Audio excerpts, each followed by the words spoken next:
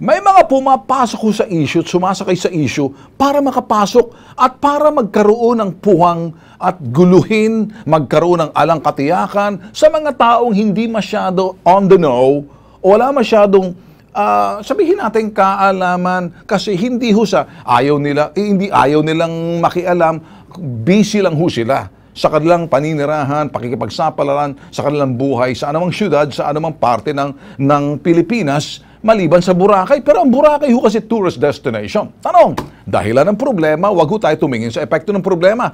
Epekto ho ng problema ang nakikita ho natin kaya ang ginagawa ho ng ating pamahalaan, hindi ho tinitingnan at sinusulba yung problema sa pamamagitan ng epekto bagkos doon ho sa dahilan ng problema. Matagal na ho to. Nakakabwisit mga boss na kapag sinul, si, sin, silusu- sinulusyonan mo, gumawa ka ng uh, solusyon sa isang problema, tumitingin ka lang sa epekto. Kasi alang katapusan ho yan eh.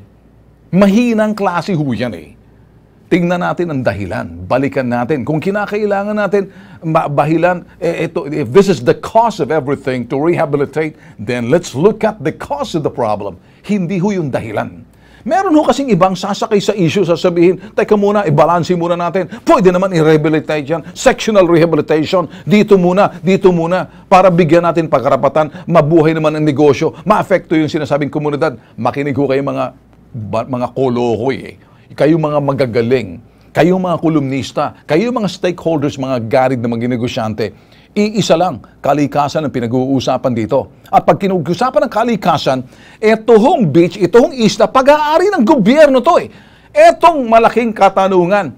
Sa panahon ho ni Pinoy, panahon ni Mar Rojas, na abuso ho to, na bastardo ho to. Kumbaga, naging pokpok ho ang Boracay. Pinasok ho yan ng mga gahamang negosyante.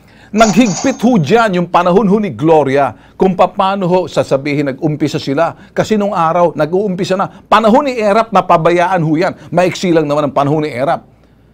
Ng panahon ho nila Ramos, nag-uumpisa na yan. Panahon ho ni Erap. Maiksi lang ang termino ni Erap. Panahon ni Gloria, they were about to rehabilitate. Eh, problema ho kasi, may mga issue dyan eh.